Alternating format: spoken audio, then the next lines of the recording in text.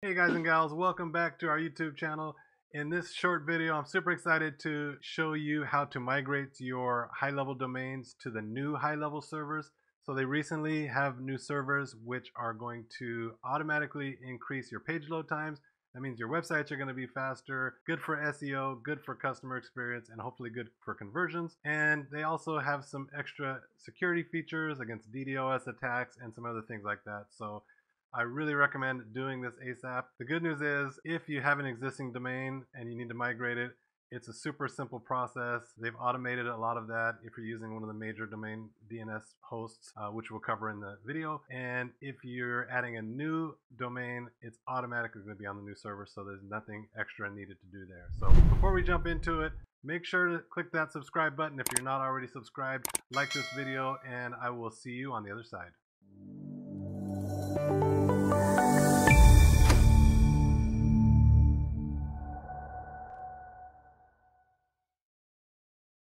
In this video, I want to show you how to migrate your website and funnel domains over to the new and improved servers. And so we have new servers that will make a dramatic increase in your page speed times. There's also some additional security measures there and a few other benefits. And it's very easy. If you've already got your domain set up, we need to take a couple steps to migrate those over to the new server. If you're adding a new domain, you can just follow the help docs for that and any new domains added are going to be added to the new server. So we're going to head over here into settings and domains.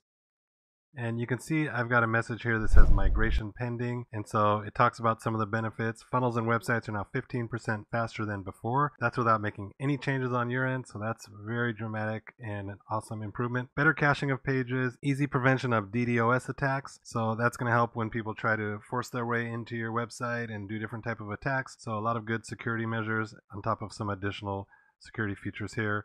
And you can click here migrate domain or you can click here to migrate domain.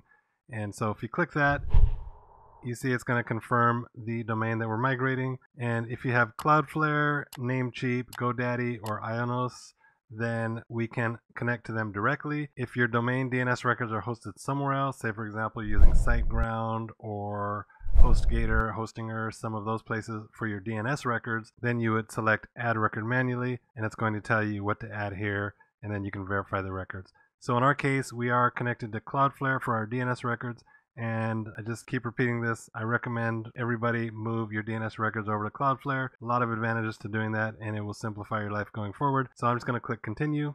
It's going to connect to Cloudflare and check our DNS records and then you can click here to just confirm what records are going to be added. So we want to make sure it's just going to add this record or update this record. That way we're not worried about adding wrong records incorrectly. So you just want to verify that and then authorize domain. And so now it's going to ask me to log in. If you're already logged in, then it's going to skip this step. And if you have more than one Cloudflare account, most of you will just have one. But if you have more than one, you want to make sure you log into the one that has this domain's DNS records hosted. So we'll just log in here and it's just going to confirm everything. So here it's going to say this is the change that's happening. And you can see we're changing from flash.funnels.messagesender.com. The new servers are sites.ludicrous.cloud. So the name Ludicrous should tell you that this is going to be a good change. And so I just have to type in shibuya13.com to confirm, authorize, and it's going to update here and that's it. So now the changes are done and there's really nothing else to do. You can select your homepage, things like that. But it may take a little bit of time for the changes to go through. Let's just see. So it looks like everything's working fine here.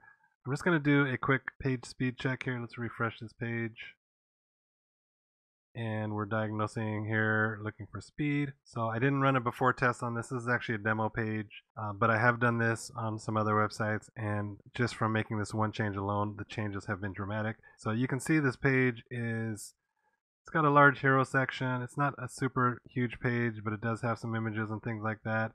And in the past, this probably would have been a 60 or 70 on mobile, but now we've got an 80, which is really good. And 96 for desktop. So the page load times are really good. Uh, we could probably improve some of this if we went into the funnel and made some changes, but this is just the initial thing. So It's really that simple. I recommend that if you have your domains set up already, come in here and just migrate your domains. It just takes a minute, super easy to do, and the benefits are outstanding. All right, guys and gals, as you can see, it's super simple to migrate to your domains. And if you're adding a new domain, once again, you don't have anything extra to do. It's just automatically done. So I really recommend doing it because there's really significant advantages to moving your domains over into the new servers. So once again, make sure to subscribe to our channel if you're not already subscribed. Like and share this video. And if you have any comments, leave them in the comments. We'll reply to every comment. And I look forward to seeing you in the next video.